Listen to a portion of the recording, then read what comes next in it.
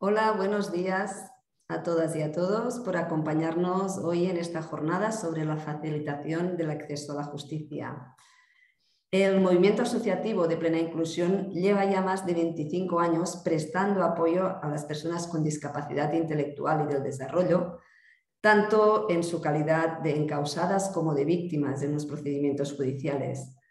Esta experiencia nos ha permitido constatar que en un elevado número de procedimientos las personas con discapacidad intelectual sufren de situaciones de indefensión.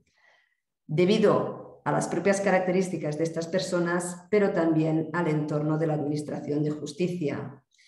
En muchas ocasiones eh, que topamos en la realidad con falta de capacitación de algunos de los operadores jurídicos para tratar con las personas con discapacidad también con prejuicios y estereotipos respecto a estas personas, así como con la rigidez eh, del procedimiento, de los actos procesales o incluso con un lenguaje técnico y muy difícil de comprender para las personas con discapacidad intelectual. Asimismo, los mismos operadores jurídicos no tienen todas las herramientas específicas que les permitan tener en cuenta las características de estas personas por ejemplo, en el momento en que tienen que prestar testimonio o en el momento en que se formalizan interrogatorios. Las constataciones de estas situaciones de indefensión llevó pues de hace años a que los profesionales formados de los ámbitos de las organizaciones de plena inclusión empezaran a acompañar a las personas con discapacidad durante los procedimientos judiciales y que de esta forma ya la figura del facilitador se fuera perfilando. Todo ello se hacía bajo el paraguas del artículo 13 de la Convención sobre los Derechos de las Personas con Discapacidad, que reconoce ya la realización de ajustes de procedimiento para estas personas y para que puedan participar con todas las garantías en los procesos judiciales. Hasta ahora, en nuestro ordenamiento jurídico existían reconocimientos específicos sobre ajustes de procedimiento en normas como la Ley de Enjuiciamiento Criminal o el Estatuto de la Víctima. Pero este reconocimiento podemos decir que se ha generalizado y se ha consolidado con el artículo 7 bis de la Ley de Enjuiciamiento Civil, que reconoce el derecho de las personas con discapacidad a que se realicen adaptaciones y ajustes en el procedimiento. Este artículo además es supletorio de todas las normas procesales, los que nos permite la exigir estos ajustes de procedimiento en el ámbito de cualquier procedimiento judicial. Plena Inclusión, como hemos indicado, hace años que está trabajando de forma activa en reivindicar estos ajustes de procedimiento. Y lo ha hecho publicando múltiples informes, el de buenas prácticas en ajustes de procedimiento a cada lado y el de la figura del profesional facilitador, así como el informe que también presentamos hoy en este seminario.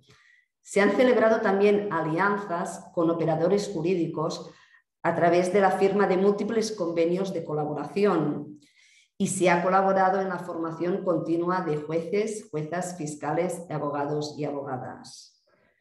Entendemos que el seminario de hoy es un paso adelante en el camino de lograr la plena participación de las personas con discapacidad intelectual y del desarrollo en los procedimientos judiciales y evitar estas situaciones de indefensión.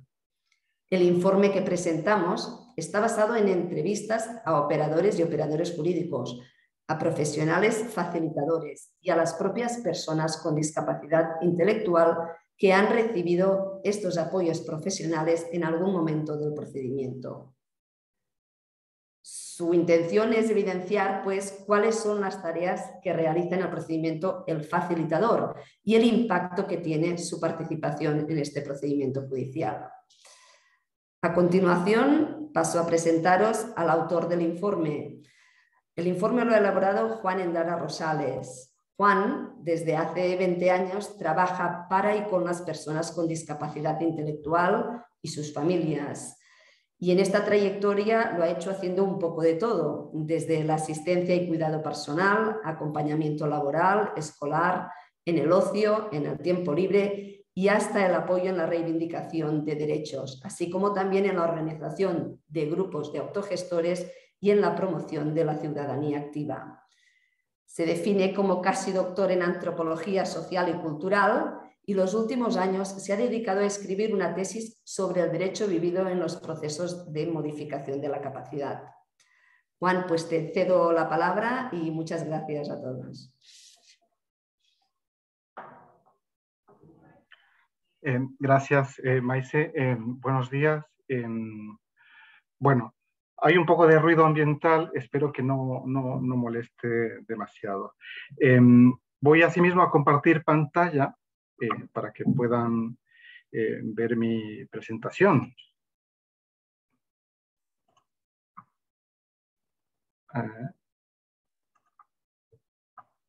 Sí, eh, tengo inhabilitada la función. Problemas técnicos.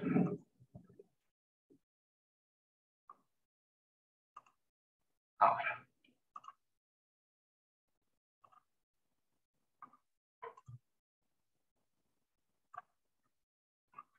Bien.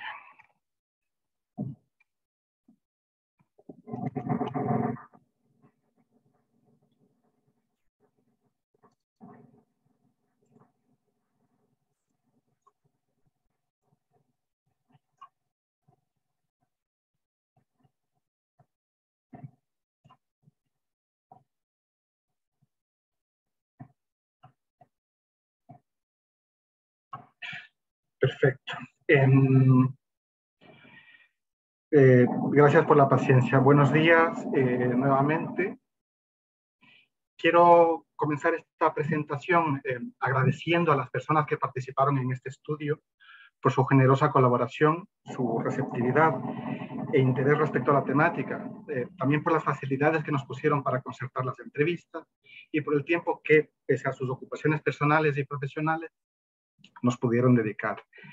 Hoy voy a exponer parte de la información de un estudio que realizamos para conocer el impacto y la utilidad que tiene la facilitación del acceso a la justicia para las personas con discapacidad intelectual y del desarrollo.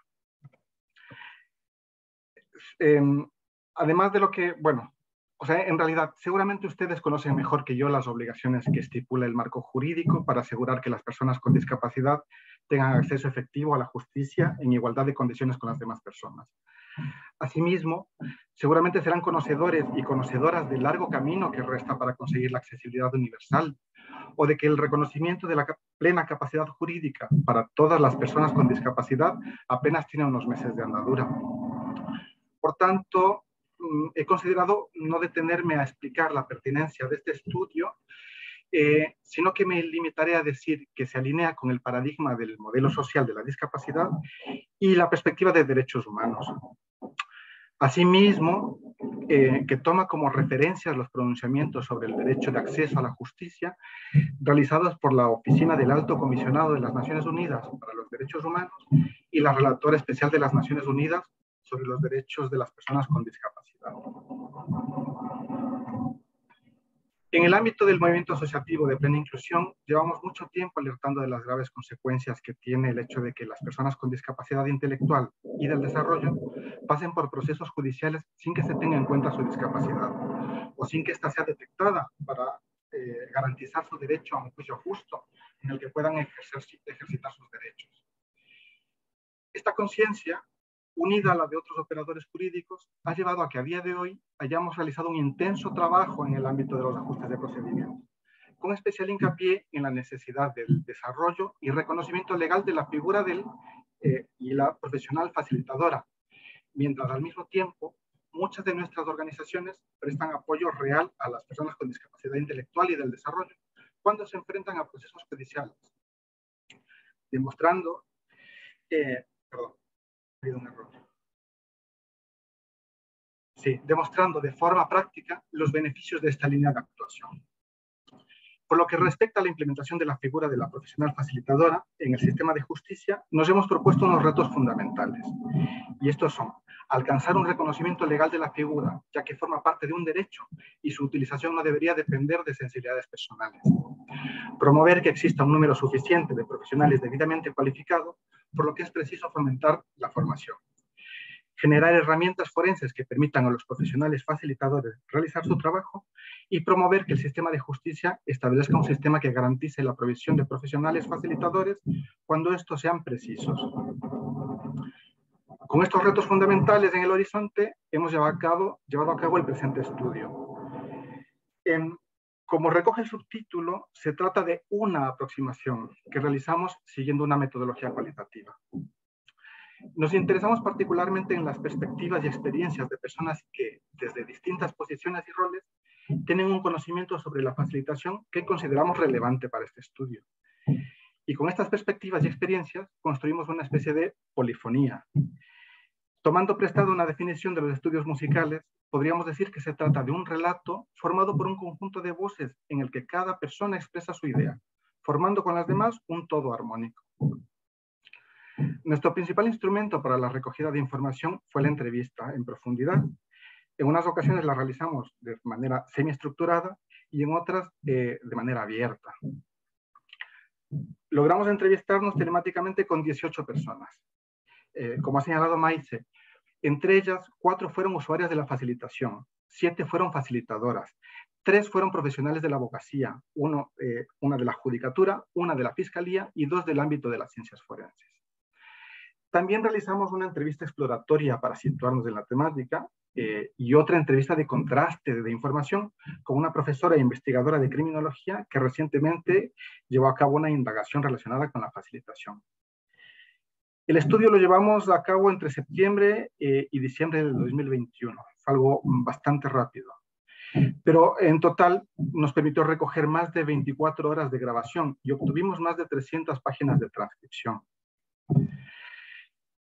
Esta cantidad considerable de información la organizamos en torno a tres grandes categorías, eh, que las tienen aquí en pantalla. Eh, las barreras que impiden el acceso a la justicia, algunos aspectos específicos sobre la facilitación y algunas valoraciones personales de las personas entrevistadas. Como pueden ver, estas categorías las organizamos a su vez en subcategorías y dentro de estas últimas constan de distintos aspectos. Hoy no disponemos de tiempo suficiente para desarrollar todos estos contenidos, así que nos centraremos en las valoraciones de las personas entrevistadas y concretamente en las que se refieren a los impactos y las utilidades de la facilitación en el proceso judicial. Como pueden ver, son varias. Intentaremos exponer, aunque sea de manera un tanto esquemática, todas ellas. Bien, uno de los aspectos más importantes en los que se plasma el impacto y la utilidad de la facilitación es en la ayuda para comprender, que ésta presta de, manera, de diferentes maneras a todas las personas que participan en el proceso judicial. Esta ayuda para comprender es particularmente útil en las interacciones personales que tienen lugar en los distintos actos procesales, frente a todo tipo de gestiones, incluida la toma de decisiones o en la asesoría letrada. Asimismo, es de gran utilidad en la transmisión de información, especialmente aquella que se realiza mediante los documentos que emanan del proceso judicial o policial por extensión. La ayuda para comprender es fundamental para poderse defender. Como señala Sebastián, usuario del ajuste, y lo deja completamente claro. Nos explicó eh, que en otros procesos judiciales siempre había, había dicho a todo que sí, pero sin entender lo que le decían o lo que le preguntaban, hasta que contó con el apoyo de un facilitador, quien le ayudó a comprender lo que le preguntaban y entonces pudo comenzar a explicarse y a defenderse. La ayuda para comprender no la recibe solamente la persona con discapacidad intelectual, sino que de ella se pueden beneficiar todas las personas que participan en el proceso judicial. Notablemente, Sandra, usuaria de la facilitación, nos muestra que existe una relación estrecha entre la ayuda para entender y la empatía. Estas eh, valoraciones nos llevan a eh, considerar otro de los impactos de la facilitación. Frente al miedo que genera el juicio y el carácter intimidatorio de los entornos judiciales y policiales, la facilitación contribuye a generar una sensación de seguridad en las personas que reciben el ajuste.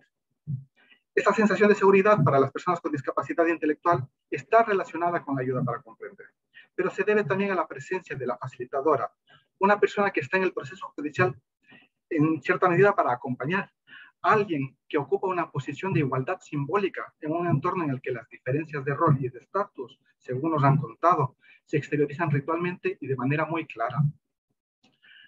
Explicar lo que va a ocurrir tiene como efecto comprobado generar una sensación de mayor tranquilidad y seguridad a las personas que tienen que acudir a los procesos judiciales.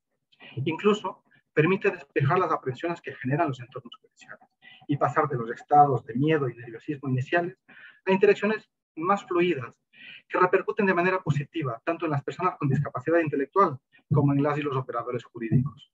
Los testimonios de Sandra y de Noelia que tenemos en pantalla son elocuentes al respecto. Bien, otro de los impactos notables de la facilitación es que cambia considerablemente el proceso judicial, por lo que respecta al papel que desempeña la persona con discapacidad intelectual y la manera en que ha recibido su testimonio. Hay que recordar que se trata de experiencias, eh, de que, eh, bueno, este, este, estudio está basado en experiencias, por tanto, en opiniones personales eh, que nos han sido relatadas. Una de ellas, por ejemplo, es la que señala la fiscal Teresa, eh, se trata de un impacto destacado en la de la intervención de la facilitadora, eh, puesto que aquello que testifica la persona con discapacidad se torna coherente, es decir, que desaparecen ciertas cuestiones que hacen que su testimonio sea débil, como las contradicciones en las que puede incurrir o el no situar con precisión lugares y eventos. En cierta manera, podemos afirmar que la facilitación valida a la persona con discapacidad intelectual y hace que su experiencia en el proceso judicial sea menos difícil. Estos cambios se deben, entre otras cosas, a que la facilitación agiliza el procedimiento. Esta es otra de las utilidades. Por ejemplo, en aquellos casos en los que las personas con discapacidad intelectual tienen el rol de víctimas, la facilitación no solamente permite sortear algunas de las barreras que afectan a la recogida de su testimonio y que restan credibilidad a su palabra, sino que también permite acortar pasos, eh, plazos procesales que de otra manera tendrían una duración mayor. Como muestra la cita de la psicóloga forense Carmen, la facilitación incluso descarga de trabajo a las clínicas eh, forenses. En relación con la recogida del testimonio emerge otra de las utilidades importantes de la facilitación, ya que, enunciado con el apoyo de la facilitadora, el testimonio puede ser registrado y preconstituido en prueba por quienes tienen la potestad para hacerlo, cuestión que evita la revictimización asociada a la reiteración del testimonio, sea en sede judicial o policial, o incluso fuera de estos ámbitos. Y asimismo, eh, evita la revictimización asociada a los problemas que conlleva declarar unos hechos, muchas veces dolorosos, en un proceso judicial que con toda probabilidad tendrá lugar tiempo después de que estos hayan ocurrido. Otro de los aspectos eh, en relación con los cambios en el proceso judicial que imprime la facilitación tiene que ver con su utilidad para conocer y respetar la voluntad de las preferencias de la persona la voluntad y preferencias de la persona. Como relata la abogada Cristina, a partir de su experiencia con la figura en un procedimiento de provisión de apoyos, la facilitación permite que la persona con discapacidad intelectual y el juez o la jueza tengan una conversación en la que realmente se entiende, la cual permite conocer las voluntades y preferencias y determinar los apoyos concretos que necesita la persona. Y lo más significativo, superar completamente la costumbre, y la tendencia a decir que no pueden hacer absolutamente nada. Eh, una costumbre y una tendencia eh, que al menos eh, jurídicamente debe, acabó hace unos meses, según conocen. Para Cristina, se trata de un cambio radical en la forma de hacer las cosas. Por ello, considera que las y los abogados deberían poder disponer de la facilitadora para asesorar a sus clientes, realizar las entrevistas previas, de preparar los juicios. En definitiva, que se trata de una figura imprescindible para la comunicación entre la persona con discapacidad y todas las demás personas con las que interactúa a propósito del proceso judicial. Otra de las utilidades de la facilitación en el proceso judicial es que contribuye a despejar la acumulación de prejuicios que pesa sobre ciertas personas con discapacidad intelectual, ya que, de alguna manera, verifica la discapacidad y sus necesidades de apoyo cuando éstas no son tenidas como verdaderas. Se trata de algo que, como señala la facilitadora Gabriela, ocurre con frecuencia en procedimientos penales en los que la persona con discapacidad intelectual ocupa los roles de investigada o acusada, especialmente cuando sus necesidades de apoyo no son evidentes. Eh, y estas interactúan con distintos prejuicios y estereotipos relacionados con la etnia, o con el consumo de tóxicos y a veces con la ausencia de un reconocimiento oficial de la discapacidad, es decir, el certificado de grado y tipo. En esos casos, es común que la infraidentificación, sumada a la situación de estrés, lleve a pensar que estas personas están fingiendo o están intentando aprovecharse o quieren tomar el pelo. Por ello, nos dice, el hecho de que especialmente estas personas vayan acompañadas por un facilitador es recibido por la sala como un aval de que la persona no está fingiendo, que sus necesidades de apoyo son verdaderas. Bien, otro de los impactos significativos de la facilitación es que el hecho de conjugar apoyos y ajustes de procedimiento no incide únicamente en el caso concreto, sino que repercute en las prácticas judiciales futuras. De las experiencias con la facilitación se desprenden impresiones como que hace más fácil el trabajo de las y los operadores jurídicos, incluso de que les aporta la tranquilidad de hacer su trabajo con todas las garantías o más. Pero para que esta repercusión se pueda activar, es necesaria la confianza que lleva a ciertos operadores jurídicos a aprobar, solicitar y promover la figura. De las entrevistas se desprende que la confianza es el resultado de una intervención que sienta precedentes, una experiencia positiva que es replicada y que cambia las formas.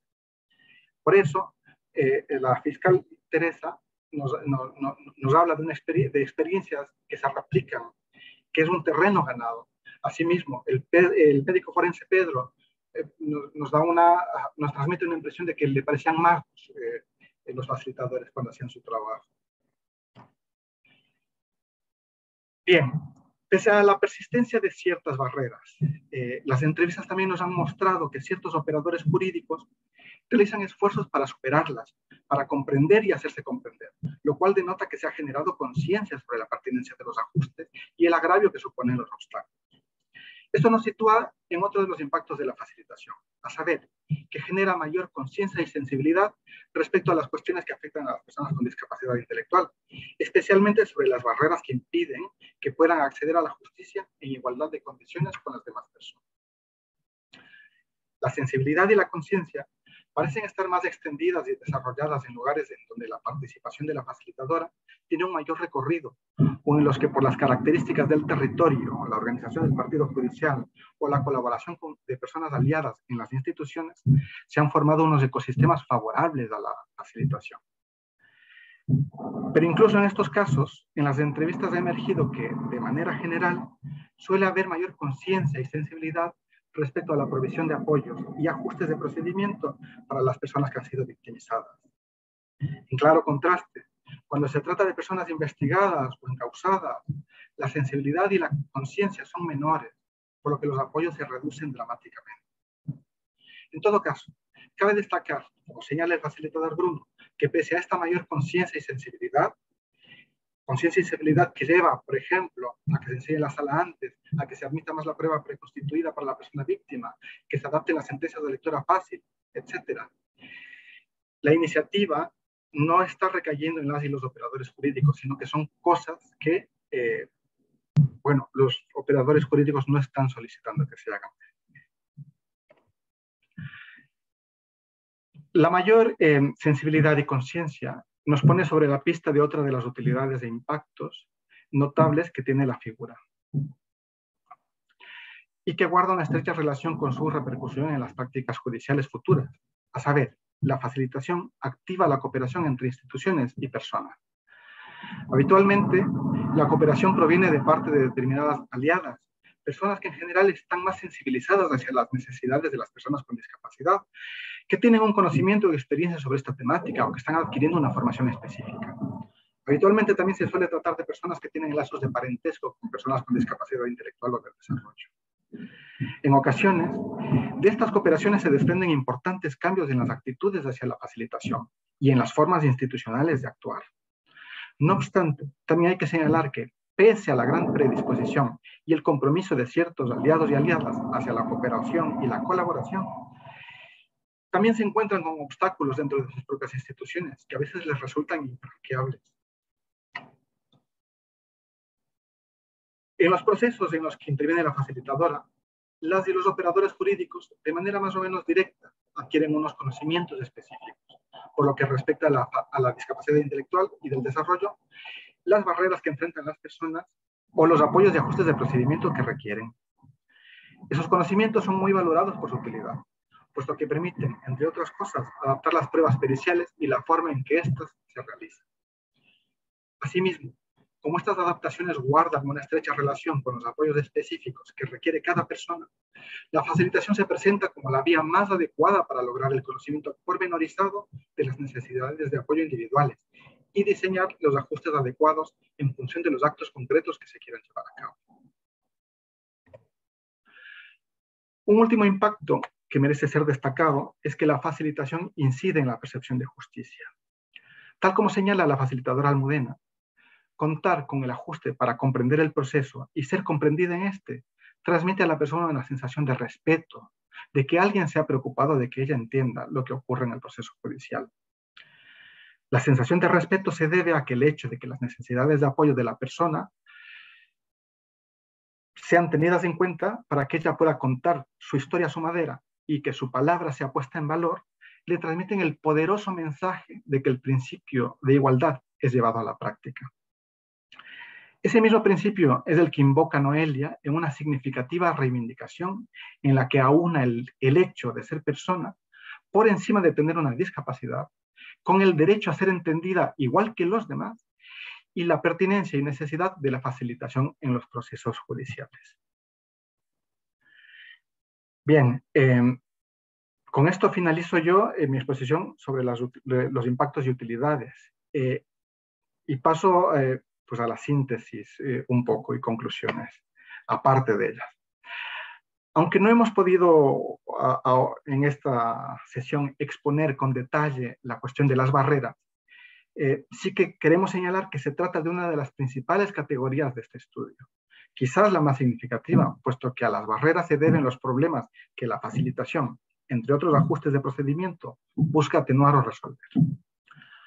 Una de nuestras principales conclusiones sobre lo que muestran los testimonios recogidos es que las barreras forman una trama, un dispositivo compuesto por unos entornos que resultan especialmente intimidantes, unos procesos rígidos y complejos, y unos prejuicios y estereotipos profundamente arraigados. Esto es lo que simboliza esta imagen eh, que hemos puesto aquí, este campo de obstáculos. Esta trama de barreras da lugar a una experiencia hostil en la que son recurrentes la inaccesibilidad, el descrédito, la infantilización, la revictimización y otras formas de maltrato institucional que en ocasiones llevan al desistimiento y la resignación de las demandas de justicia.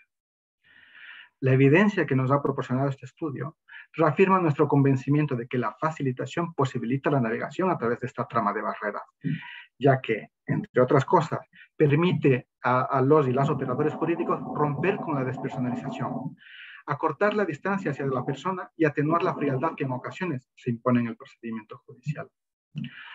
A la vez que estimula la empatía de las y los operadores jurídicos, confiere a la Administración de Justicia un aspecto más humano, más sensible y receptivo hacia problemas que afectan no solamente a las personas con discapacidad intelectual y del desarrollo. Eso es algo que hay que subrayar. La facilitación del acceso a la justicia, por tanto, se revela como un instrumento de gran utilidad, no solamente para quienes tienen ciertas necesidades de apoyo, sino para todas las personas que participan en procedimientos judiciales que requieran ser ajustados independientemente del rol que desempeñen o la posición que ocupen en ellos. Para finalizar, eh, traigo aquí un, bueno, una, un instrumento, un artilugio bueno para pensar.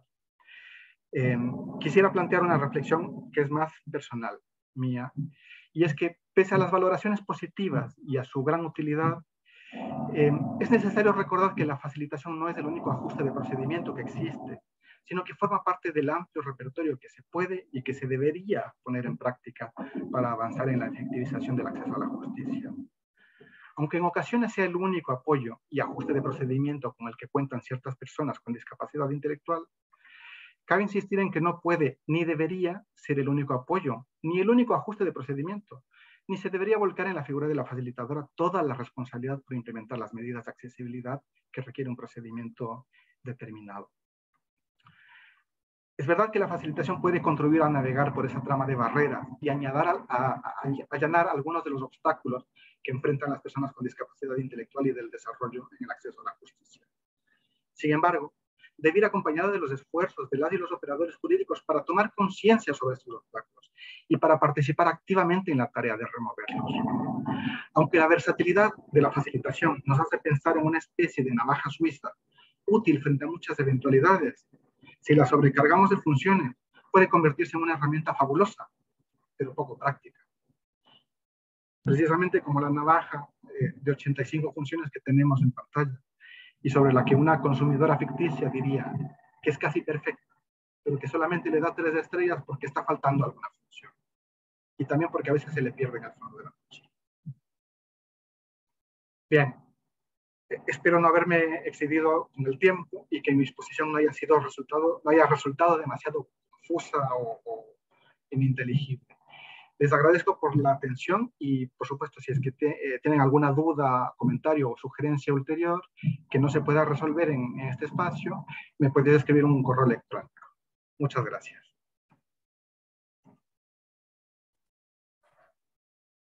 Muchas gracias, Juan, por la exposición.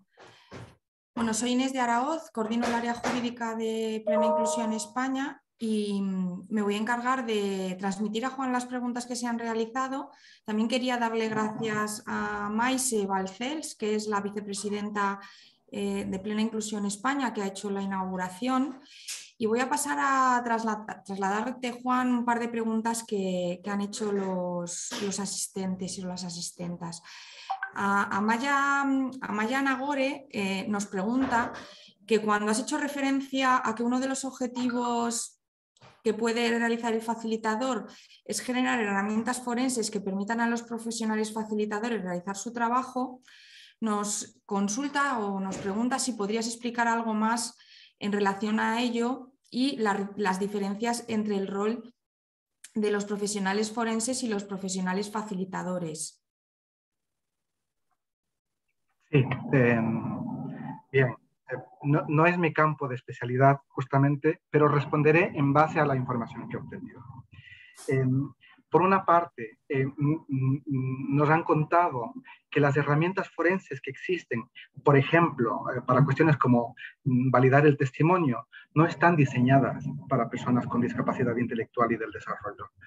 En muchos casos se trata de adaptar herramientas que han sido diseñadas para otras personas o para niños y niñas entonces, en ese sentido, eh, mm, eh, los facilitadores y facilitadoras, como conocedoras, eh, expertas en discapacidad intelectual, pueden contribuir al, desarrollo y al diseño de estas herramientas, incluso pues, a su perfeccionamiento.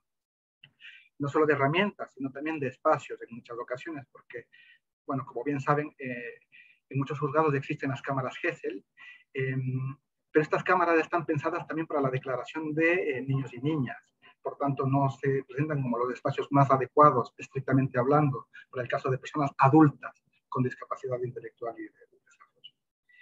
Em, por otra parte, entiendo em, eh, que la diferencia fundamental entre las facilitadoras, eh, las personas facilitadoras y las profesionales de las ciencias forenses está en hechos como que no pueden aportar pruebas.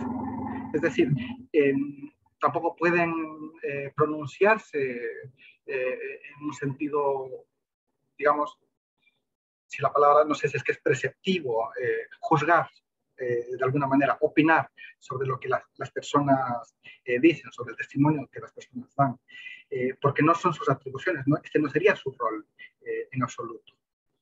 No sé si con esto respondo en parte. sí, gracias Juan. Si quieres puedo completar yo. Eh, bueno, realmente desde la experiencia que tenemos en plena inclusión, efectivamente, tal y como dice Juan, el rol del, eh, facilitador, del profesional facilitador es diferente de otros, profesionales como puede ser los, los forenses y las forenses o los institutos de medicina legal, puesto que la actuación del, del, facilitador se dirige únicamente a eh, a, generar esas condiciones de participación de la persona, pero no entra dentro de eh, lo que es el contenido propio del procedimiento, no genera prueba, no evalúa credibilidad. ¿no? Entonces yo creo que, como ha dicho Juan, cuando se habla de que puede, eh, eh, más que generar herramientas forenses, es que como como se explicita en el estudio cuando se habla de, cuando habla una de las, eh, de las médicos, médicas forenses, habla de la, de la ayuda, por ejemplo, cuando tiene que obtener testimonio de la ayuda que le supone el facilitador a la hora de trasladar las preguntas a la persona, es decir, a la hora de adaptar eh, la realización de la prueba, pero no a la hora de generar esa herramienta forense. Juan, creo que hay aquí otra pregunta para ti relacionada también, pregunta Jessica, eh, sobre cuáles, eh, bueno, pues cuáles son los perfiles profesionales y un poco también pues esa, esa función ¿no? o ese papel que tiene el facilitador en el proceso que creo que también tiene que ver con lo, con lo que pregunta Amaya, de diferenciarlo de otros, de otros actores ¿no? del procedimiento judicial. Sí, efectivamente, hasta donde conozco, em, no hay eh, una definición, un, modelo firmemente definido, sino que justamente es por lo que se está abogando. Eh, digamos, actividades como esta, ¿no? Eh, pero en todo caso, eh, lo que ha emergido en las entrevistas es, por una parte, que la profesional facilitadora debe tener conocimiento especializado sobre discapacidad intelectual. a partir de aquí, este conocimiento se puede obtener de muchas maneras. creo que hay aspectos que remiten a ciertas titulaciones universitarias. Em, en, otros casos remiten, pues, no sé, a otras áreas también de conocimiento que no siempre están ligados a la práctica, por ejemplo, de la psicología clínica. Ah, creo que en todo caso es una cuestión sobre la cual eh, han mencionado en eh, algunas personas en el estudio que cabe aunar perspectivas porque, eh, em, digamos, la tendencia a, no sé, Ah, no sé, un solo tipo de formación, probablemente dejaría fuera eh, muchas otras, no sé, habilidades o conocimientos o incluso prácticas que se vienen llevando a cabo desde hace tiempo, prácticas de apoyo y prácticas de facilitación, eh, aunque bajo otro nombre. Por tanto, entiendo que es un tema de discusión. Gracias. Mira, nos pregunta, yo creo que tenemos tiempo para otra pregunta, pero hay algunas preguntas que también creo que podemos pasar después a la, mesa que va, que va, a iniciarse a continuación. Pregunta Tomás em, eh, si el que dice, el que el facilitador pueda ser un pariente o conocido no podría ser un obstáculo en el procedimiento judicial al no ser imparcial para determinar la voluntad y preferencias de la persona, no le puede influir en la determinación de su voluntad. Si quieres, Juan, tú aquí puedes contestar más en relación a lo que han comentado en el estudio y yo puedo también eh, ayudar en la respuesta.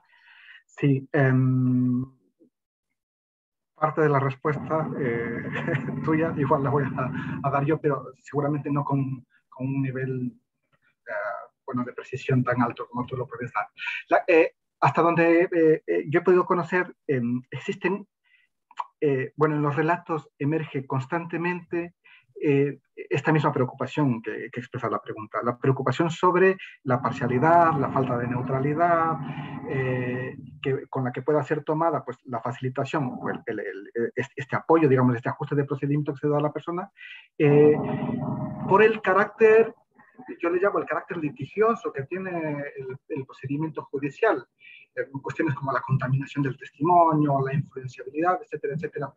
Claro, yo no soy jurista, no, no, no puedo responder eh, con precisión los alcances que tiene esta cuestión, pero sí que puedo decir eh, lo que me han contado las personas que he entrevistado, que es que como el, el, el rol de la facilitadora no tiene que ver con el aportar prueba no tiene que ver con el pronunciarse respecto a las pruebas, etcétera, etcétera, eh, no debería causar estas suspicacias. Sin embargo, son muy, muy fuertes, tanto que en muchas ocasiones lleva a que no se apruebe la participación de una facilitadora en los procesos judiciales. Gracias, Juan. Bueno, de todas maneras, sobre la cuestión de, la, percepción de la neutralidad, vamos a tratar este tema después en la mesa. De hecho, hay una pregunta para Belina Lía en esta línea. Entonces, únicamente voy a, voy a responder a la cuestión de si puede ser un pariente o no. Eh, el facilitador tiene que ser un profesional y un profesional formado eh, eh, y bien formado. Entonces, el artículo 7 bis de la Ley de Enjuiciamiento Civil, en uno de los apartados habla del profesional facilitador y en el apartado siguiente habla de la posibilidad de que haya un acompañante.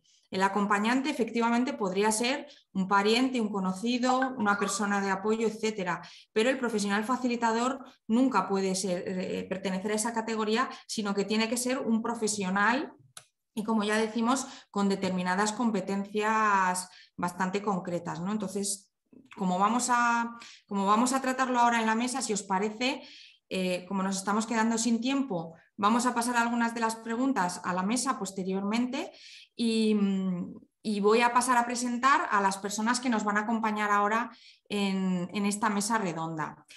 Eh, en esta mesa redonda nos va a acompañar eh, María del Pilar Barrado, que es asesora del gabinete del secretario general para la innovación y calidad en el Servicio Público de Justicia.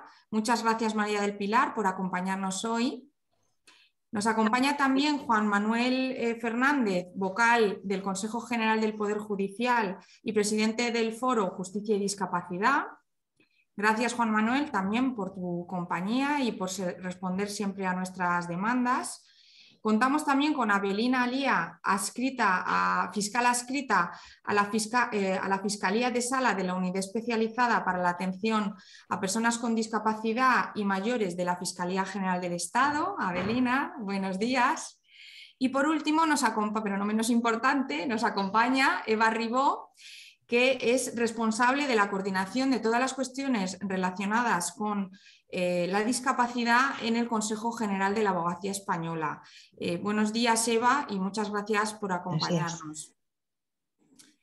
Bueno, pues es un lujo contar con todas vosotras, con esta mesa, eh, yo creo que tan importante también, pues por haber hecho el esfuerzo de, revisar el informe que os habíamos enviado previamente para poder debatir hoy y voy a ir haciendo preguntas, eh, algunas relacionadas quizá más con la, institución a la que representáis y otras, eh, bueno, pues, mm, mm, o con el rol que tienen los, operadores jurídicos en el procedimiento y cómo impacta la figura del facilitador y otras en relación a, al contenido del informe. No obstante, a mí me gustaría lo primero de todo decir que nos acompaña María del Pilar Barrado por parte del Ministerio de Justicia y que eh, el Ministerio de Justicia, esta no es una cuestión desconocida, sino que eh, desde hace tiempo el Ministerio de Justicia tiene en marcha un plan de trabajo que se llama Justicia 2030,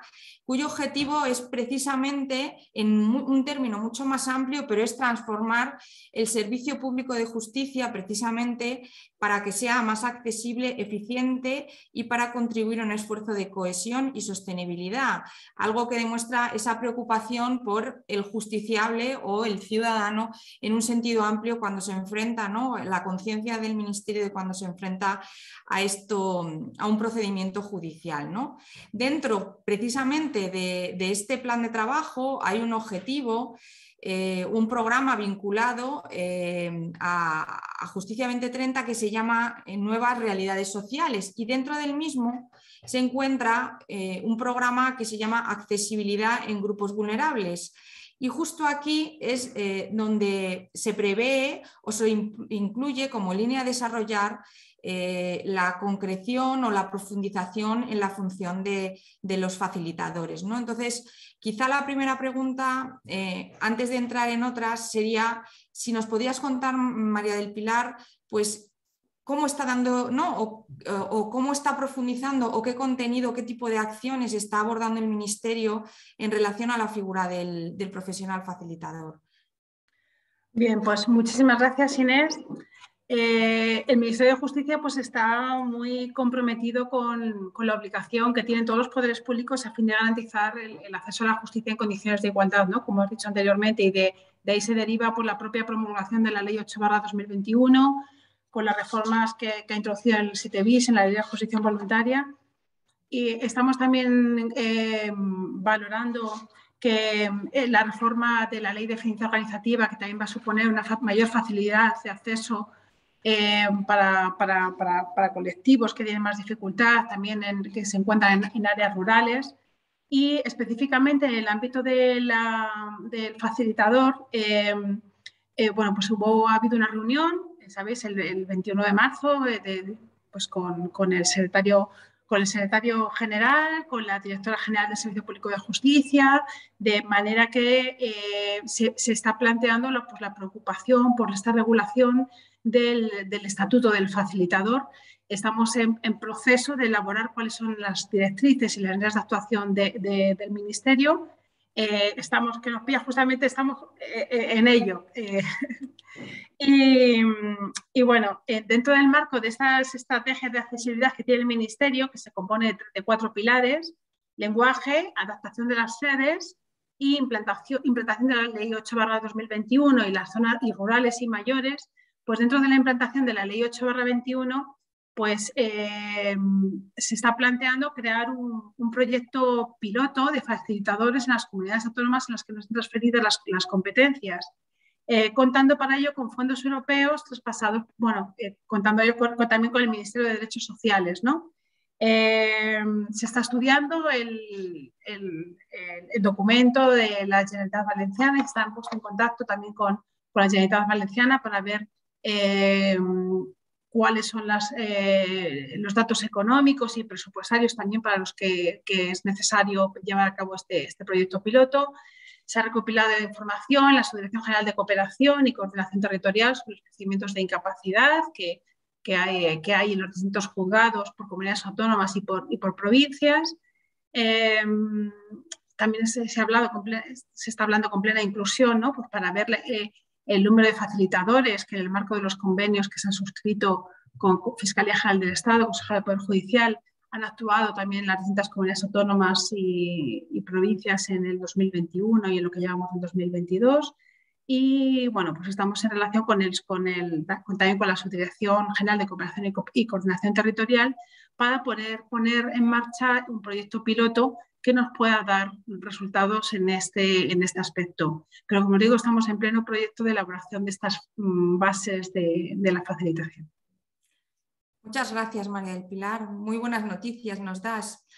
Bueno, pues una vez que tenemos ya este, em, este, esta buena noticia de que por parte del Ministerio también se están abordando algunas cuestiones, a mí me gustaría, Juan Manuel, eh, realizarte a ti quizá la primera pregunta mm, relacionada con, con, el perfil o la naturaleza del profesional facilitador en el proceso. ¿no? Como sabemos, el facilitador, eh, de acuerdo a lo que establece el 7 bis, es una figura profesional dirigida a participar, perdón, a facilitar eh, o a garantizar la participación y comprensión de la persona con discapacidad en el proceso y eh, la, exposición de motivos, a pesar de que esto está reconocido en el 7 bis, la exposición de motivos de, la ley de enjuiciamiento criminal establece eh, eh, que la persona con discapacidad, si lo desea y a su costa, puede valerse del profesional facilitador.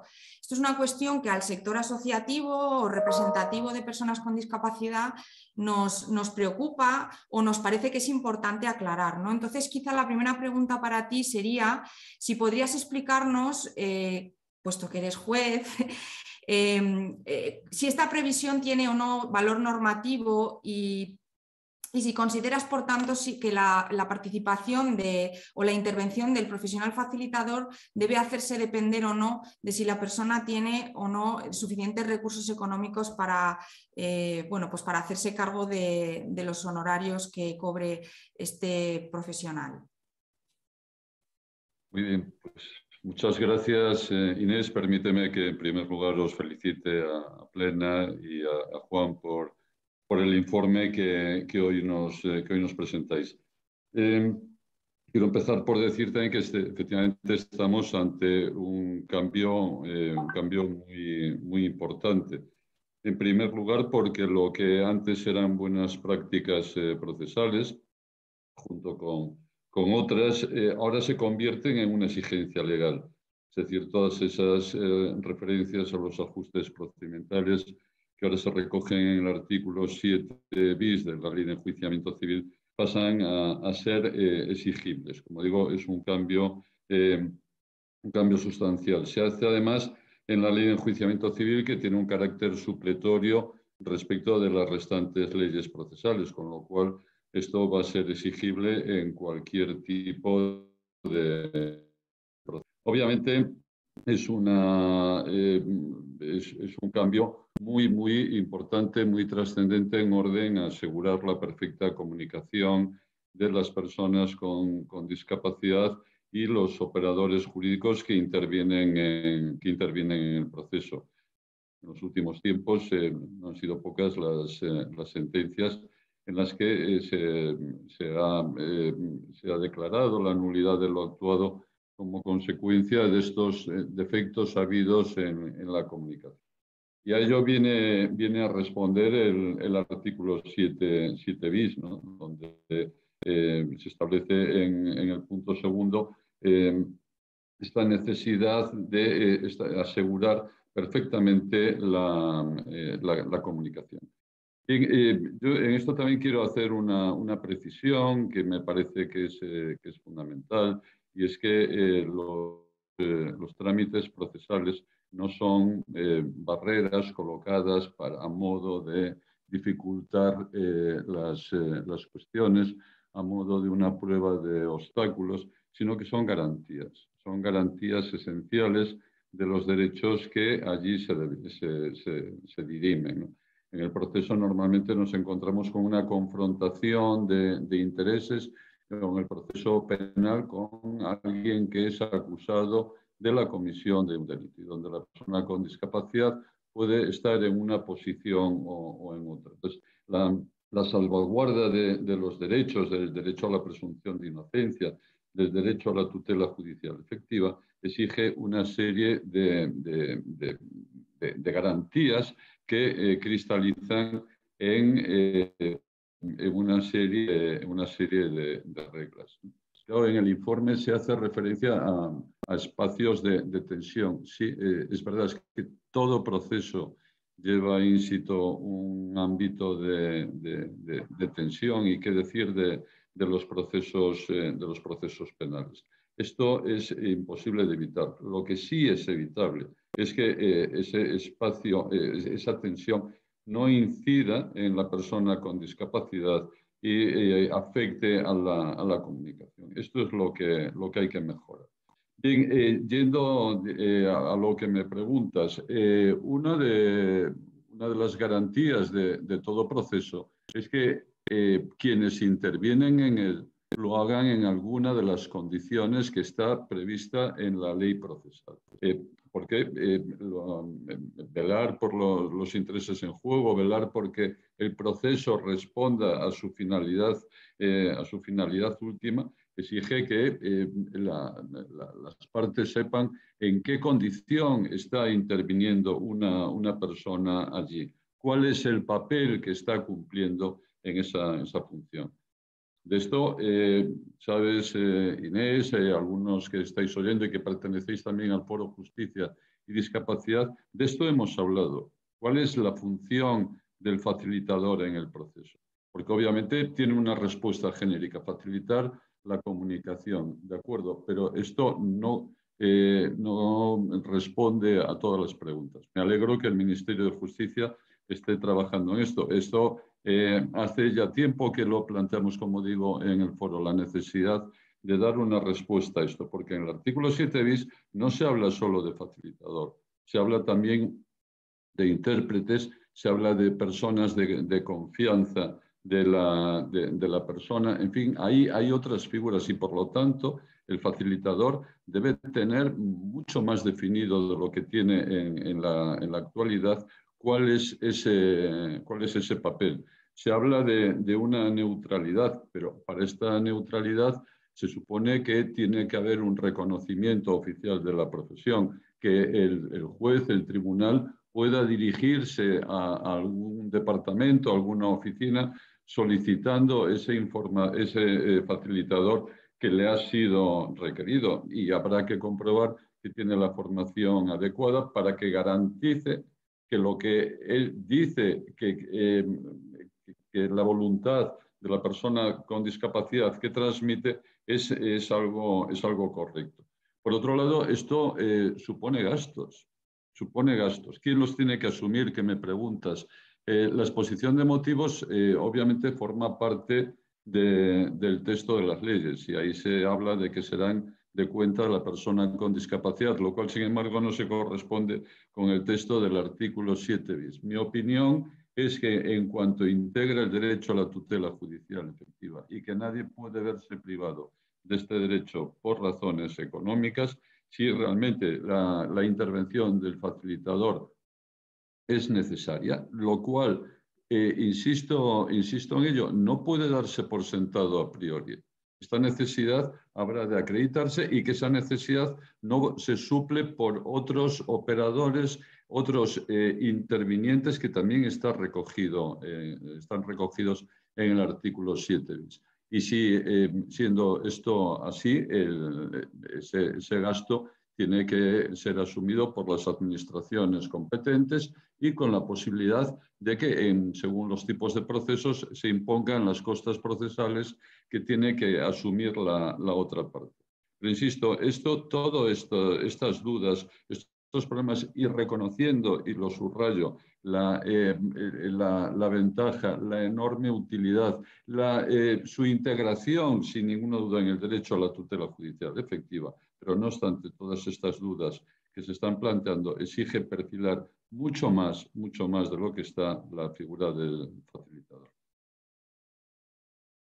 Gracias. Muchas gracias, Juan Manuel. Como vemos, aquí estamos, pues eso, precisamente para debatir, para hablar, para escuchar, ¿no? Y, para, para ir avanzando, en definitiva.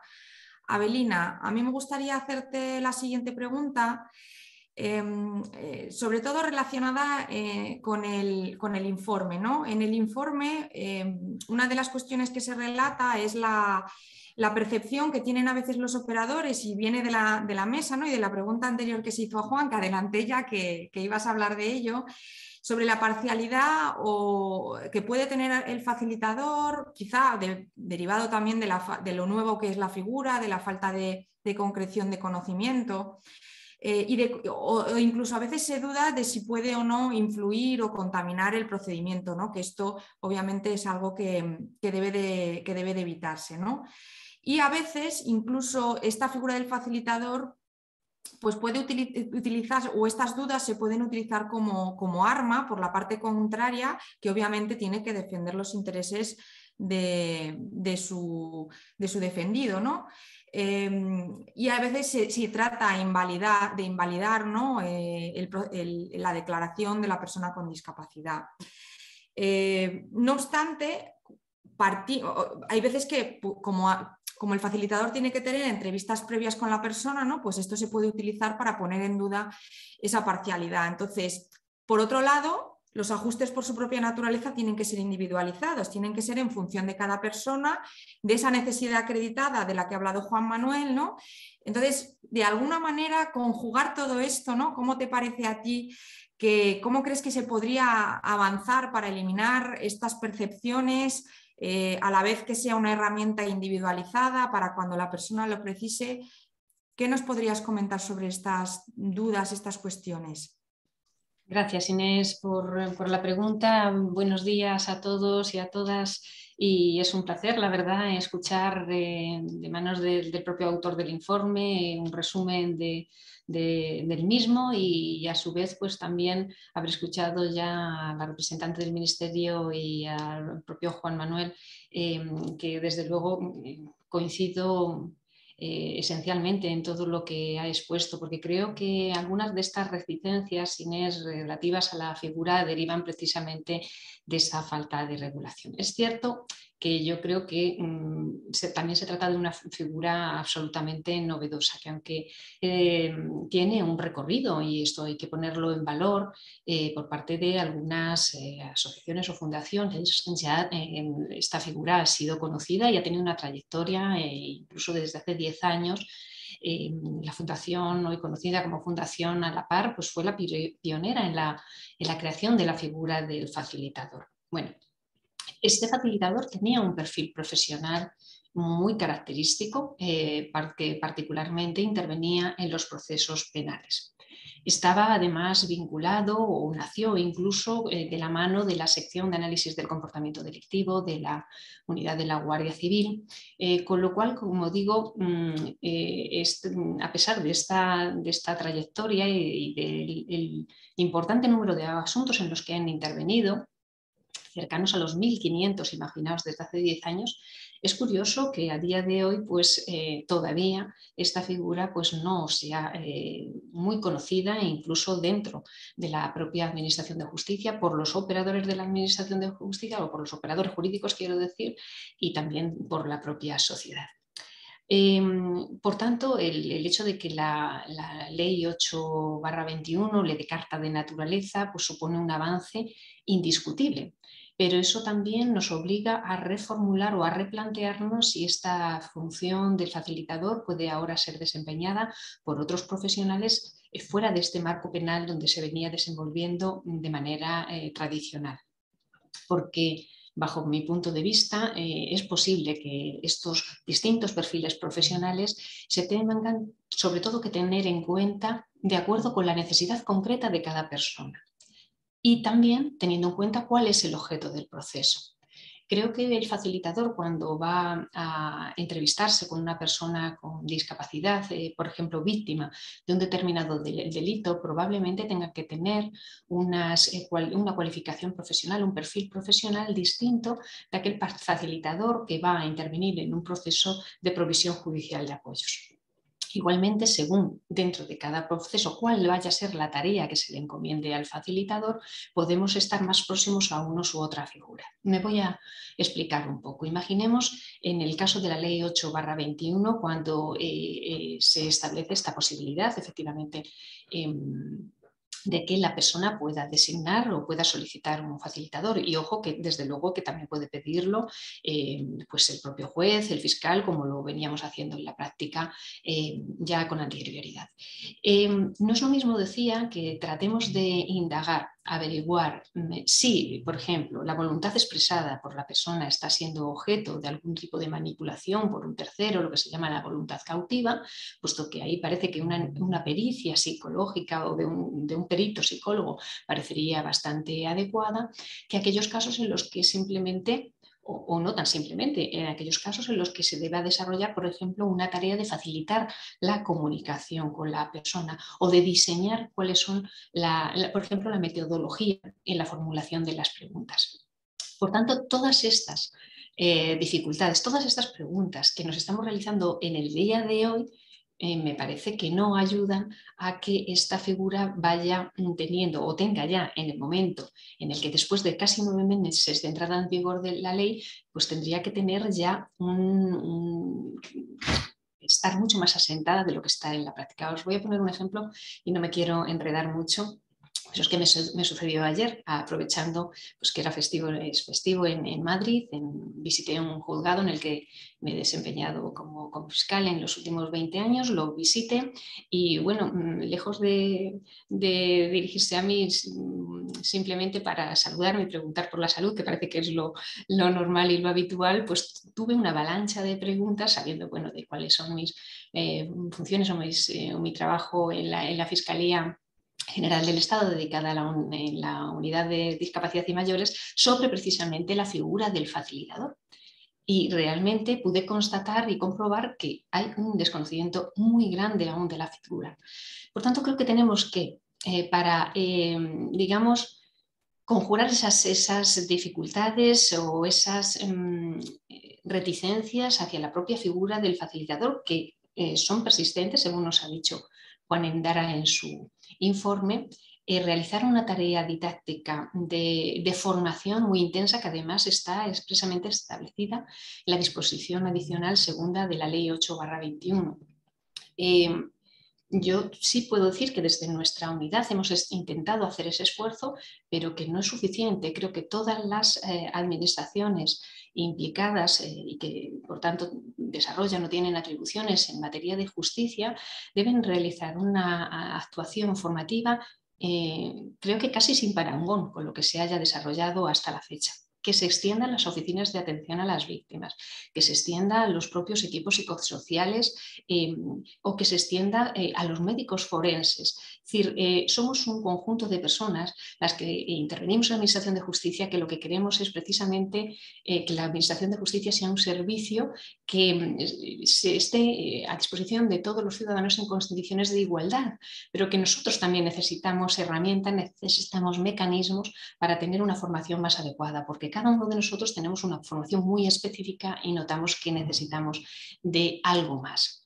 Em, por otro lado, mm, creo que además de dar a conocer esta figura para asentarla eh, definitivamente, es necesario también contar con este perfil profesional. Tradicionalmente no ha habido suspicacias. Yo no me las he encontrado cada vez que he solicitado en un proceso penal la figura del facilitador y lo he hecho en muchas ocasiones. Y creo que esto partía en buena medida de que se contaba con unos profesionales cuya eh, cualificación prácticamente era indiscutida e indiscutible. Como digo, tanto desde la Guardia Civil como esta de Unidad de Atención a Víctimas, con esa trayectoria tan reconocida. Por tanto, eh, necesitamos que esta profesionalidad, que esta cualificación, que esta capacitación de los profesionales que vayan a desempeñar estos trabajos de facilitador, pues desde luego la tengan para que podamos eh, generar esa confianza. Por otro lado, tienen que tener, lógicamente, no basta con un solo perfil profesional, como decía anteriormente, según también qué aspecto vayamos a abordar de la persona, qué necesidad concreta de adaptación, sino que además, además del perfil profesional, tienen que tener una acreditada experiencia en materia de discapacidad. Mm, ¿Puede perfectamente un logopeda ayudar en estas eh, tareas de comunicación, por ejemplo, o un trabajador social, o un psicólogo? Pero no todos los psicólogos ni todos los trabajadores sociales tienen que tener esta experiencia en, eh, como digo, en discapacidad y en el trato a las personas con discapacidad. Y se precisa también que, eh, que tengamos la certeza, la convicción de que van a ser profesionales neutrales, para que sean profesionales neutrales, tendrán que tener un estatuto con sus derechos y con sus obligaciones. En definitiva, un diseño de la figura que dé cobijo a la misma, que evite estas, estas suplicacias o estas reticencias que yo entiendo desde otro punto de vista absolutamente normales.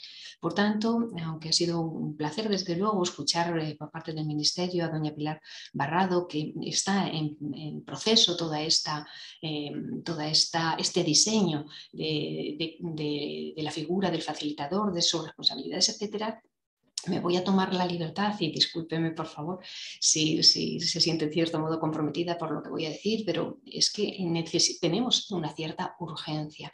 Lo veía ayer, como decía, en estos juzgados que visité una urgencia en que eh, se dote a esta figura de estos elementos que contribuyan a, por una parte, que los juzgados tengan a disposición estos profesionales neutrales, cualificados, perfectamente, que sean perfectamente conocedores incluso de cómo funciona un proceso, de cuáles son eh, sus posibles intervenciones. Y por otro lado, además, em, también incluso pues, eh, lo que anunciaba anteriormente Juan Manuel, em, la cuestión económica, es decir, cómo y de qué manera se van a sufragar estos, eh, estas, em, esta nueva figura. Todo caso, como digo, creo que saludamos todos los que estamos aquí presentes esta figura, observamos además que hay una, mayor implicación cada vez, prácticamente en todas las normas que se van eh, dictando, se observa esta necesidad de hacer ajustes, de hacer... Em, de apoyar a la persona en la comunicación. Simplemente ya acabo, hago mención al artículo 449 ter de la Ley de Enjuiciamiento Criminal que ha modificado la prueba preconstituida. Eh, se hizo esta modificación legislativa por la Ley Orgánica 8-21 de protección integral a la infancia y a la adolescencia y precisamente también insiste en esta necesidad. Por tanto, tenemos, como digo, cierta premura en fijar, en diseñar en completar la figura y también, desde luego, la labor del tercer sector de acción social, pues también la disposición adicional primera de la, ley 821 establece que las entidades del tercer sector de acción social, colaboradoras con la Administración de Justicia, podrán desarrollar una serie de actuaciones, entre ellas, lógicamente, prestar el apoyo a través de las figuras del facilitador pero necesitamos, como dice la propia ley, que se desarrolle en los términos que mm, se entiendan necesarios reglamentariamente. Así es que hay un camino y hay que recorrerlo con cierta agilidad, Inés, bajo mi punto de vista. Muchas gracias, Abelina. Bueno, pues ahora pasamos a, preguntarle a Eva.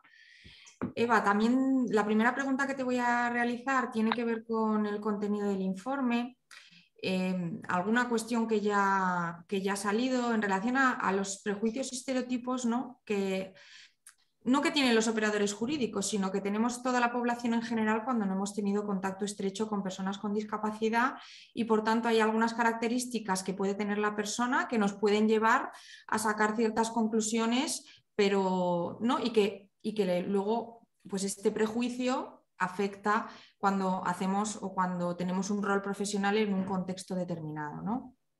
Eh, eh, algunos de los estereotipos que se apuntan pues son em, que las personas son, mm, con discapacidad son como niños, ¿no? que están infantilizados. Eso también lleva a veces a pensar cuando tienen discapacidad intelectual o del desarrollo que no van a poder tomar decisiones por sí mismas ¿no? y esto afecta eh, a un conjunto importante de cuestiones jurídicas, como por ejemplo em, eh, aunque ahora ya eh, tenemos la ley 8 2021, pero toda la cuestión de la incapacitación, de la representación de la persona, Em, también hay estudios que avalan que, eh, el, testimonio de las personas con discapacidad eh, intelectual es menos creíble, también pues porque utilizan menos, mm, detalles en el relato libre, pues porque eh, hay veces que, que, puede haber contradicciones o silencios, ¿no? toda una serie de cuestiones. Em, ¿Tú crees que, desde, tu punto de vista, ¿no? ¿crees que eh, por el conocimiento que tú tienes de la figura del facilitador, que de alguna manera puede contribuir a que en el futuro eh, todos estos prejuicios y estereotipos queden superados por, este medio, por el mero contacto, ¿no? por la mera actuación, eh, toda esa experiencia que van teniendo conjunta ¿no? los facilitadores y los operadores jurídicos? ¿Cuál es tu opinión sobre esto? Mm, gracias, Inés. Eh, déjame también que os felicite a, Plena eh, y a Juan Andara por, el informe que habéis realizado, eh, que he tenido la suerte de, poder leer y también que os agradezca que, me hayáis permitido participar ahí con vosotros. Em, mira, respecto a la pregunta que me formulabas, ¿no? Mm, desde mi punto de vista, es evidente que estamos en una etapa de transición todavía. Tenemos una convención, tenemos una legislación, pero tenemos una sociedad que todavía no ha integrado interiormente ¿no? este modelo de derechos humanos que, propugna la, Convención para las personas con discapacidad y, si me permites, en general. ¿no? Em, entonces, ¿los operadores jurídicos están exentos de estos prejuicios y estereotipos? Evidentemente que no. El, motivo mm, de estos eh, estereotipos para mí es eh, la desinformación y el desconocimiento de lo que es la persona con discapacidad. La desinformación y el desconocimiento eh, nos suele provocar reacciones de miedo, de recelo, por una falta de control sobre la situación ante la que nos encontramos. Mm, cuando estamos en esta situación, eh, ¿cómo reaccionamos? Pues eh, con mecanismos de autoprotección, o bien el desdén, o bien el proteccionismo extremo, o bien una, generalización y creación de máximas, ¿no? que podrían ser estos prejuicios y estos estereotipos. ¿no? Y gracias a ellos, que nos los inventamos, eh, podemos encarar situaciones que no controlamos ¿no? en base a una supuesta autoridad que realmente parte de una base que es, que es errónea. Para mí el facilitador lo que nos va a permitir a los operadores jurídicos es ver en la práctica qué significa relacionarse con una persona con discapacidad, qué comporta una persona con discapacidad, qué características tiene, qué circunstancias tiene. Es decir, nos va a permitir ir desde la teoría hasta la práctica, que es tan difícil hacer este paso de transición. Y de hecho la convención ¿no? pues la tenemos desde hace muchísimos años. El facilitador nos va a permitir desaprender estas respuestas eh, automatizadas que tenemos eh, de, reacción directa, ¿no?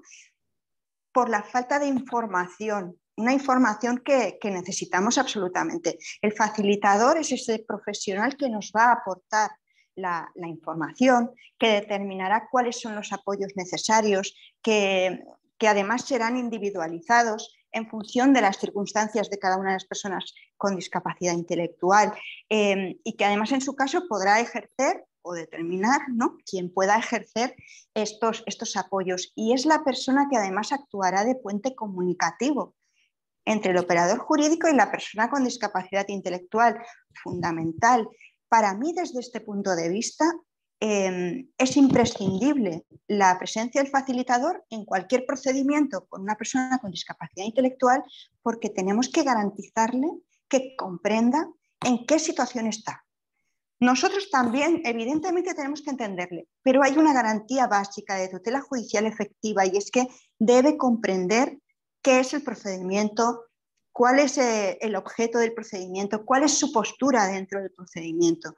Y esto, mm, mm, a la vista de la actuación de los, eh, operadores jurídicos, yo diría que a día de hoy no existe otra figura que permita estas garantías. Y por lo tanto, para mí es, es imprescindible. Y gracias a esta función, yo creo que nos va a empezar a permitir cambiar la mirada, ir aprendiendo, ir comprendiendo, comprendiendo a las personas con discapacidad intelectual con esa práctica, ¿no? Eh, ir viendo que esta persona que tenemos delante es una persona, una persona independientemente de su, de su discapacidad. ¿no? Y que todo el mundo tiene derecho a la tutela judicial efectiva, a la accesibilidad a la justicia, a la presunción de inocencia, a ejercer la capacidad plena, solo que algunas personas necesitan unos apoyos especiales para entenderlo y para poder expresarse de manera que todos estos derechos les sean, les sean aplicados. Cuando tengamos esa práctica y cuando podamos verlo en el día a día, nos daremos cuenta de que los prejuicios son, son infundados y que tenemos que iniciar de cero las relaciones con estas personas, igual que lo hacemos con el resto. Y después, más allá de la intervención del facilitador, acabe cuando acabe en el procedimiento, es evidente que, eh, como apuntaba Juan Manuel, ¿no? que las garantías procesales son las que son, ¿de acuerdo? Y que se, y que se resolverán las situaciones en función de la prueba que se valorará como está garantizado en, la ley. Pero para mí la figura del facilitador es imprescindible para esta humanización totalmente. Muchas gracias, Eva. Eh, Juan Manuel, no sé si has levantado la mano. Sí, sí la he levantado, Inés, pero no quiero alterar el, guion, pero sí me gustaría luego hacer también alguna... Sí, eh, ahora voy a hacer otra ronda y os voy a, vamos, os voy a hacer otra pregunta, pero también lo voy a dejar abierto a que nos digáis eh, o nos transmitáis eh, mensajes que consideréis que son clave. Ahora quería volver a, María del Pilar para preguntarle, porque bueno, como, como, ya has visto, hay mucha expectativa, ¿no? Y, dentro del informe, precisamente al final, hay un apartado que, se llama preocupaciones y propuestas de futuro. Y ahí eh, a día de hoy tenemos una situación práctica, ¿no? que es que hay determinadas organizaciones que prestan el servicio, pero en el futuro pues, hay dudas de, cómo se va, de cómo se va a institucionalizar o a materializar la participación del facilitador. ¿no? Eh, obviamente, eh, en el ámbito de las, de las, comunidades autónomas donde el Ministerio de Justicia tiene competencias, ¿no? porque hay otras donde, donde las competencias están transferidas, pero em, queríamos preguntar si precisamente al Ministerio hay alguna fórmula que en la que hayan pensado que quizá les, les transmita mayor em, seguridad, pues como pueden ser bolsas de profesionales, formación eh, del, personal de la propia Administración de Justicia, o también yo le he apuntado a Belina la, opción de la disposición adicional primera de, de la Ley 8-2021 que habla de la categoría de, la entidad colaboradora de la Administración de Justicia y habla de entidades del tercer sector que puedan realizar y habla a la disposición adicional de funciones de información, asistencia, auxilio y aportación de conocimiento experto a la Administración de Justicia. ¿no? Entonces, quizá la pregunta es un poco el parecer del Ministerio, si ve combinación entre varias opciones, si todavía no lo tiene claro, bueno, pues si nos puedes adelantar algo de información, María del Pilar, muchas gracias. Gracias a ti, Inés. La verdad que, como decía antes, pues está explorando posibilidades, están haciendo estudios para, para ver cuál es, la, cuál es el diseño más, más adecuado. Y bueno, estamos en ello y, y yo creo que, que, brevemente habrá una, una postura de, del Ministerio, pero ahora mismo pues no podría adelantar nada porque se está trabajando en, en ello y no depende solamente de mí. Eh, solamente... Eh, eh, ver también que eh, el contenido de la disposición adicional primera también está pendiente de regulación, de, desarrollo reglamentario. Eh, y bueno, estamos muy interesados, este ministerio está muy interesado en, su desarrollo, puesto que además vemos que, bueno, pues que, es favorable, que, la, la, figura del facilitador es bidireccional, va, mm, bueno, pues principalmente va a beneficiar al usuario, pero también va a ser un puente, como decía antes Eva, un puente entre los operadores jurídicos y el mismo que va a facilitar que toda la administración de justicia pues sea eh, eh, mucho más eficiente y que se mejore el, acceso de la judicial efectiva. Y, bueno, pues como decía también antes eh, Juan Endara, eh, pues también estamos trabajando a esa sensibilidad también por parte de los operadores jurídicos que, desarrollan su trabajo día a día en los juegos y tribunales de España. En cuanto tenga algo. Eh, sí, lo sabemos, lo sabemos. Muchas gracias, María del Pilar. Bueno, pues paso ahora, Juan Manuel, a, hacerte a ti la segunda pregunta y, y, es una pregunta un poco libre, ¿no? Por un lado, nos gustaría saber desde el punto de vista de la judicatura eh, si crees que hay algún beneficio específico o alguna cuestión especialmente interesante de, la aportación del facilitador a esa comunicación entre, entre eh, la autoridad judicial y la persona con discapacidad que participa en el procedimiento. Y ya como nos, nos, estamos quedando quizás sin tiempo, pues como tú querías también hacer algún comentario añadido, si te parece ya contestas desde, desde, el punto de vista de la autoridad judicial y ya nos, nos comentas esas cuestiones que querías transmitir. En cuanto a tu pregunta, Inés, es obvio, que sí. Como, eh, eh, vamos, yo creo que esto no lo discute nadie, ¿no?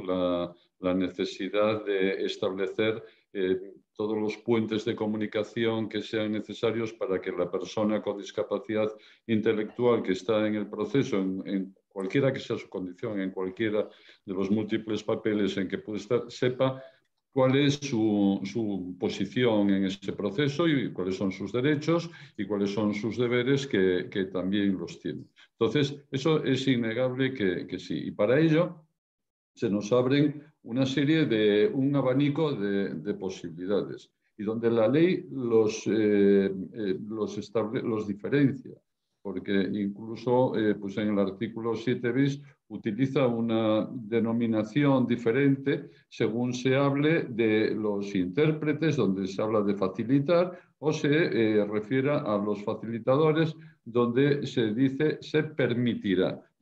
son palabras que, bueno, pues tienen eh, una acepción diferente. Entonces, por ejemplo, hay una pregunta que veo en el chat donde Sí, la figura del facilitador la podría realizar una persona con la titulación de técnico superior de mediación comunicativa. Pues esto en principio iría al apartado anterior, en mi opinión, que igual no, no estoy acertado. Pero eh, todo lo que tiene que, que, ver con ese ámbito, la ley lo, lo, lleva a un, apartado, a un apartado específico. Entonces, por supuesto que sí es necesaria la figura. Hay una experiencia, además, eh, que aquí se, se, ha, puesto de, manifiesto a través de la asociación eh, a la par, que está incluido en plena, y por lo tanto lo, conocéis perfectamente. Ahora hablamos de su generalización. Y yo retomo mis palabras iniciales y acabo, Inés, que sé que vamos mal de tiempo que antes eran buenas prácticas procesales y donde en unos sitios estas buenas prácticas se hacían y en otras no. Y esto dependía también del de, eh, esfuerzo presupuestario que cada administración quería, quería realizar. Eh, entonces, bueno, pues, se, se hacían, también se hacían de lectura fácil y en unas comunidades autónomas eh, se pagaban y en otras y en otras no, porque se trata de, de servicios que, que tienen, eh, que tienen un, coste, un coste económico. Entonces, eh, yo por eso retomo las palabras iniciales. Ahora es una exigencia legal y por lo tanto una persona tiene derecho a pedir esto y el juez a decidir sobre si se dan los presupuestos necesarios o no. Pero si se dan, ¿quién lo paga? ¿Quién lo paga? Cuando informamos el anteproyecto de, ley, se puso de manifiesto que este venía sin un informe económico. No se contemplaba una, partida presupuestaria para, esto. Hoy en día eh, ya no es solo la figura del facilitador. ¿A quién se dirige un juez para, ah, para, la, para, lectura, para hacer lectura fácil? ¿Mm? Y entonces, bueno, pues eh, lo, lo hacéis vosotros, pero con paraguas que eh, hasta ahora eh, eran de una manera, pero insisto en ello, eh, a partir de ahora tienen que ser de otra. Y esto es un tema, no, no en fin, hablar de, de, dinero, hablar de los presupuestos, pues es, en fin, no, no, es un, no es un tema amable, pero es fundamental. Y esto desde la, la, práctica de, de, los juzgados es lo que se nos, se nos demanda. Vienen, hay muchas peticiones en este sentido que, aclaremos eh, dónde se, a quién se dirige el juez para pedir un facilitador, a quién se dirige el juez para eh, pedir la conversión a un método comunicativo eh, adecuado para, establecer esto. Entonces, esa serie de, recursos pues no se han desplegado o no se han desplegado con la misma intensidad en, todos los territorios. El servicio público justicia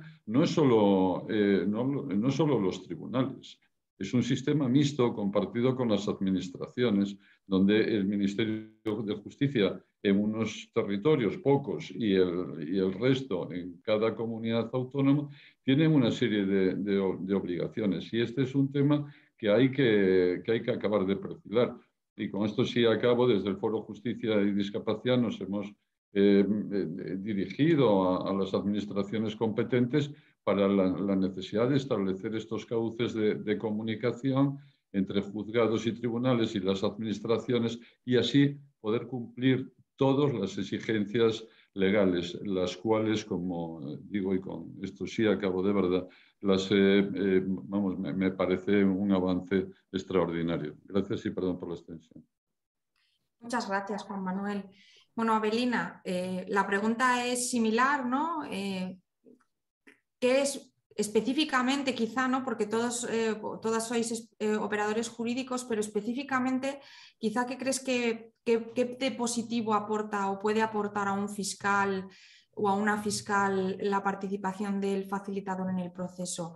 Y ya para, como igual que con Juan Manuel, pues también si quieres hacer algún comentario añadido para cerrar, creo que no, vamos a poder hacer preguntas, hay preguntas en el chat, pero eh, va a ser imposible porque si no nos vamos a alargar mucho, pero las estamos recopilando todas para, intentar tenerlas en cuenta y dar respuesta o transmitirlas.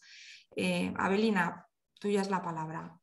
Bueno, efectivamente, Inés, yo creo que, la figura del facilitador es un avance, un logro incorporado a nuestro derecho, toma carta de naturaleza, como antes decíamos en este precepto del 7 bis, eh, y los beneficios creo que no se pueden solamente mm, personificar en la figura de o para el fiscal o para un juez o para la persona. Evidentemente, creo que la, el principal o la principal beneficiaria es la persona con discapacidad por estos obstáculos que tiene eh, el proceso para cualquier persona, pero creo que los ciudadanos que no tienen discapacidad, digamos que saben reinventarse o reaccionar, tienen estrategias, herramientas para, ante aquellas dificultades que se le puedan plantear, por ejemplo, el control hasta del estrés que le puede provocar la situación, la, mm, dificultad para entender un lenguaje que efectivamente es un lenguaje técnico en muchos casos, etcétera, pues se pueden sortear con mayor facilidad. La persona con discapacidad necesita, necesita apoyos, los que les podamos prestar también nosotros, los que participamos en la propia Administración de Justicia, porque sí me gustaría em, llamar la atención sobre esto. Yo creo que ni el fiscal, ni el letrado, ni un juez, ni cualquier otra persona que pueda tener una interlocución con la persona con discapacidad, letrado en la mesa de justicia, médico forense, etcétera, lo que puede eh, entender es que con esta figura ya lo que eh, se le proporciona es una manera de inhibirse respecto de funciones, facultades, atribuciones, deberes y responsabilidades que tienen decir, yo creo que eso tenemos que tenerlo muy claro. Nosotros, cada uno de nosotros, tenemos que hacer un esfuerzo, una formación a la que aludía anteriormente y además de manera reiterada para saber expresarnos mejor, para comunicarnos de una manera más cercana, más empática, más sensible, más humana con la persona que tiene con discapacidad. Y está muy bien que además luego tengamos el apoyo, el asesoramiento de la, de la figura del facilitador. Pero eh, creo que no se trata tampoco de mm, colocar un facilitador en cada comisaría de policía o en cada denuncia que se formule. Previamente, el juez, el fiscal el letrado debe hacer ese proceso previo de valoración, de evaluación de cuál es la dificultad ante la cual se está encontrando. El propio letrado, por ejemplo, cuando va a hacer la entrevista de la persona, pues se va a dar cuenta si puede, em, con sus propias herramientas, con las que puede haber desarrollado, tener una entrevista con esta persona que garantice su derecho de defensa, por ejemplo, o no las tiene. Y en este caso reclamarlo. Y así todos los operadores jurídicos y todas las personas, como digo, que intervengan en relación con una persona con discapacidad.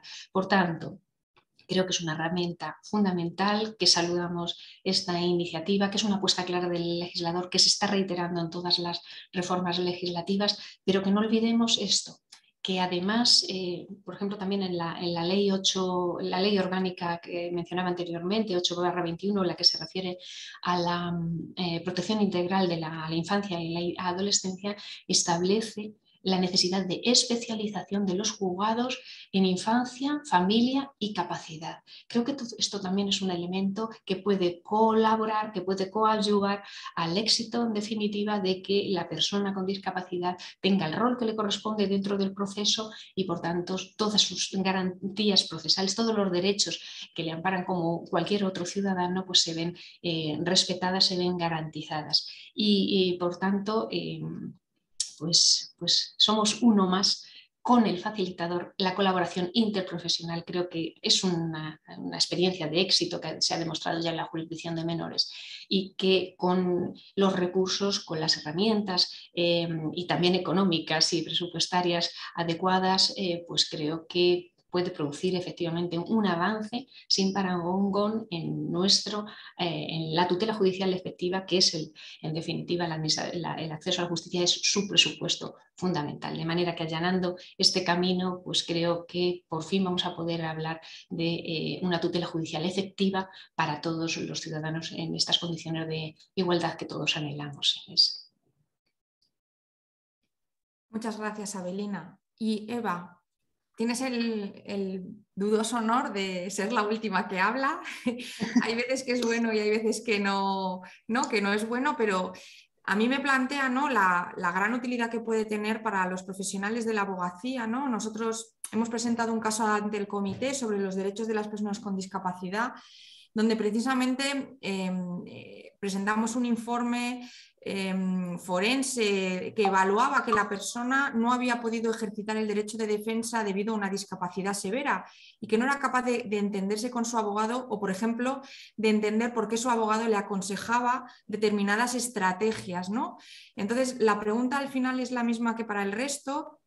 ¿Tú crees que eh, específicamente, quizá teniendo en cuenta el rol, el papel importantísimo que, tiene, que tienen los abogados y abogadas en, la defensa de los intereses de sus clientes, eh, ¿opinas que esta figura puede ayudaros? Eh, y, también, pues, para terminar, ¿no? si quieres dejarnos algún otro mensaje, alguna valoración, lo que tú quieras, Eva. Gracias, Inés. Pues muy rápido, porque sé que vamos mal. Em, para mí, la circunstancia principal que nos trae el facilitador, y siguiendo con lo que estábamos hablando antes, es que nos va a permitir conocer a nuestro cliente, nos va a permitir eh, ver a nuestro cliente independientemente de su discapacidad. Nos va a permitir erradicar nuestros propios estigmas que los tenemos, porque somos también desconocedores de, de este mundo. Pero después nos va a facilitar absolutamente la defensa. porque eh, pues en primer lugar, porque podremos eh, eh, estudiar mejor las estrategias o los sistemas de, defensa respecto a inimputabilidad, atenuantes, análisis del dolo, mm, nos va a permitir profundizar mucho más con la situación que tenemos delante, porque vamos a poder interactuar con, nuestro cliente. Va a ayudarnos a evitar fallos en el sistema en cuanto a descréditos por incoherencias de testigos, porque nos va a ayudar en cómo llevar a cabo eh, las, declaraciones. Nos va a permitir conocer la voluntad de nuestro cliente, ya aquí ya vamos a temas civiles, ¿no? Eh, y además nos va a dar un cliente que sabe lo que va a hacer y el por qué lo va a hacer, con lo cual vamos a tener un cliente que estará de nuestro lado, es decir, vamos a trabajar conjuntamente por lo mismo, porque podremos decidir juntos hacia dónde queremos ir y cómo lo queremos defender. Nosotros los asesoraremos, pero es que además cuando los asesoremos nos entenderán y sabrán exactamente lo que les estamos explicando, nos podrán decir a dónde, a dónde quieren ir.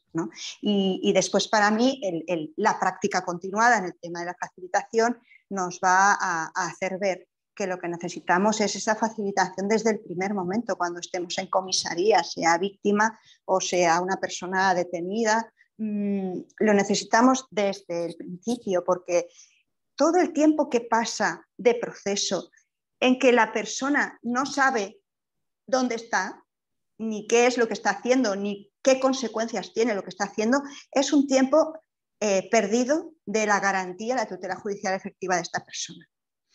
Yo creo que podríamos resumir así cuáles son los, beneficios para la abogacía y después eh, yo como conclusión final sí que quisiera decir, es verdad que todavía no tenemos regulada la, formación de los facilitadores, no tenemos eh, presupuesto presupuestario, pero la abogacía no se puede conformar con este no, porque el derecho existe, está legislado, lo tenemos en la ley y creo que siempre que lo consideremos necesario lo tenemos que solicitar. ¿Se va a resolver? Cómo se resuelva, pero nosotros lo tenemos que solicitar y tenemos que seguir solicitándolo hasta que esto eh, sea una realidad. No depende solo de nosotros, ¿eh? que ahora esto ha quedado así como muy... Pero entenderme lo que quiero decir. Eh, desde la abogacía tenemos también una relevancia importante para que la facilitación y el resto de los apoyos pasen a ser una realidad. Muchas gracias, Eva. Bueno, pues hemos llegado al final de la mesa. Sí que es verdad que han quedado muchas preguntas em, en el chat. Las vamos a recoger porque estamos trabajando este tema, Plena Inclusión lo, lo, está trabajando. También se lo haremos llegar a las personas que han participado en la mesa porque son las preocupaciones de aquellas personas que estáis en la práctica, que sois operadores jurídicos o que sois personas con discapacidad o familiares. Entonces, os agradecemos muchísimo el haber participado con nosotros. Vamos a poner ahora un pantallazo, em, bueno, darle las gracias a María del Pilar, a Juanma, a Belina y a Eva. Muchísimas gracias por participar, por estar siempre ahí.